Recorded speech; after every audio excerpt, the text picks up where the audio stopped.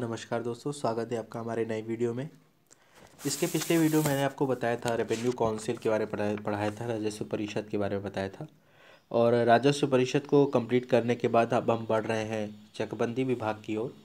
तो चकबंदी विभाग आखिरकार होता क्या है और इसका कार्य क्या क्या होता है, इसे आज हम समझेंगे और जानेंगे।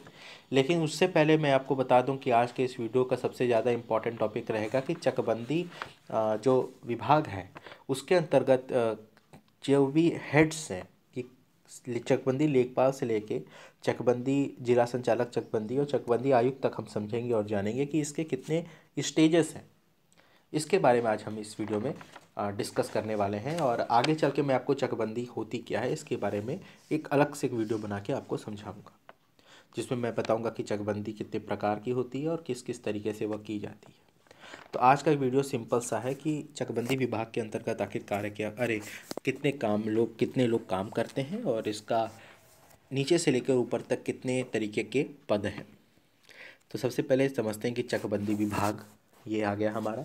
तो राज तो अब मैंने आपको बताया था कि रेवेन्यू काउंसिल राजस्व परिषद, भूमि अधिपति विभाग, राजस्व आपदा प्रबंधन विभाग, चकबंदी विभाग और जिला गजेडियस विभाग को बताया था कि ये पाँच विभाग राजस्व सचिव शाखा के अंतर्गत आते हैं। पाँच विभाग से इसकी पिछली वीडियो मैंने आपको राजस्व परिषद यानी जो पहला अनुभाग था रेवेन्यू काउंसिल का, उसे मैंने आपको बता दिया था। अब बताने जा रहा हूँ चकबंदी विभाग, लेकिन ये डीप नॉलेज नहीं रहेगी, ये सिंपल सा कॉन्सेप्ट है कि आप ये पढ़ लिख के एक क्रिस्प पढ़ के चले जाएँगे तो आपको एग्ज़ाम में काफ़ी ज़्यादा हेल्प मिलेगी। देखिए, चकबंदी विभाग का जो प्रमुख होता है, उसे हम लोग कहते हैं चकबंदी आयुक्त, जो कि दो भागों में विभाजित रहता है। जिसका जिसका नाम है, एक का नाम है अतिरिक्त संचालक चकबंदी और एक का नाम है संयुक्त संचालक चकबंदी। तो ये चकबंदी आयुक्त दो तरीके के हो जाएँगे, अतिरिक्त संचालक चकबंदी और संयुक्त संचालक चकबंदी। उसके नीचे हमारा आता है चकबंदी आयुक्त के नीचे जिला संचालक चकबंदी, यानी कि डीएम डिस्ट्रिक्ट मजिस्ट्रेट के रैंक का ऑफिसर रहता है, जिसको कहते हैं जिला संचालक चकबंदी। उसके बाद आता है हमारा उप संचालक चकबंदी, जो कि हमारा एडीएम लेवल के रैंक का होता है। बहुत ईजी कॉन्सेप्ट है ये। तीसरा आता है हमारा बंदोबस्त अधिकारी चकबंदी, यानी कि डीओसी बंदोबस्त अधिकारी चकबंदी, जो कि हमारा एसडीएम के लेवल का होता है।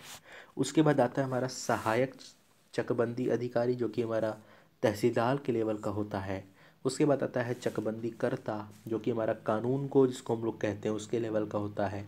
और अंत में आता है चकबंदी लेखपाल।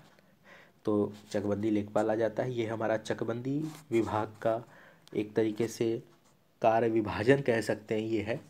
कार्य विभाजन कह सकते या पद विभाजन कह सकते हैं कि किस प्रकार से ऊपर नीचे उतार चढ़ाव इसके अंतर्गत देखे जाते हैं।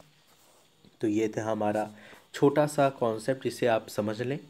और ये समझने के पीछे कारण ये है कि आगे आपको चकबंदी समझ में आएगी। क्योंकि जब मैं चकबंदी बढ़ाऊँगा तो उसमें ये सब लेवल के ऑफिसर को का नाम उसके अंदर कर, उसके अंदर यूज़ किया जाएगा कि जिला संचालक कौन है, उप कौन है, बंदोबस्त कौन है, संचालक, चकबंदी अधिकारी कौन है और चकबंदी करता कौन है, चकबंदी लेखपाल क्या होता है।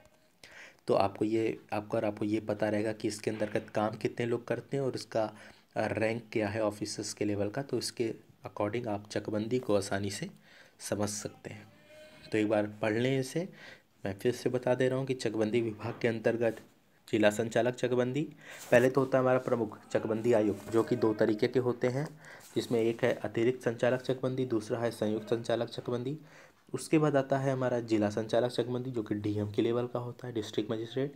फिर होता है उप संचालक चकबंदी, जो कि हमारा एडिशनल डिस्ट्रिक्ट मजिस्ट्रेट के लेवल का होता है, एडीएम के लेवल का। फिर होता है हमारा बंदोबस्त अधिकारी चकबंदी, जो कि एसडीएम के लेवल का होता है, सेक्टर डिस्ट्रिक्ट मजिस्ट्रेट। उसके बाद आता है सहायक चकबंदी अधिकारी, जो कि हमारा तहसीलदार के लेवल का होता है। और अंत में आता है चकबंदी करता जो कि हमारा कानूनगो के लेवल का होता है। और एकदम अंत में आता है चकबंदी लेखपाल, जो चकबंदी लेखपाल तो खैर आप समझ ही गए होंगे। तो लेखपाल दो तरीके के होते हैं, एक राजस्व लेखपाल, एक चकबंदी लेखपाल। तो चकबंदी लेखपाल हमारा यहाँ पे आ गया। किस विभाग में? चकबंदी विभाग में आ गया। चकबंदी चकबंदी का अर्थ मैं आपको बता देता हूँ कि चकों को बांधना इसका अर्थ होता है। वो मैं आगे आपको बताऊँगा कि एग्जैक्ट मीनिंग इसका क्या है। फ़िलहाल के रूप में आप इसे समझ लें कि चकबंदी विभाग के अंतर्गत कितने तरीके कितने लेवल के ऑफिसर्स काम करते हैं। तो ये वीडियो हमारा इतना ही बड़ा था और वीडियो को लाइक कर दें, चैनल को सब्सक्राइब कर दें और कमेंट करना ना भूलें अपने सारे डाउट्स को, क्योंकि मैं हर डाउट को तुरंत उसका आंसर आपको समक्ष पेश करूँगा। तब तक के लिए धन्यवाद।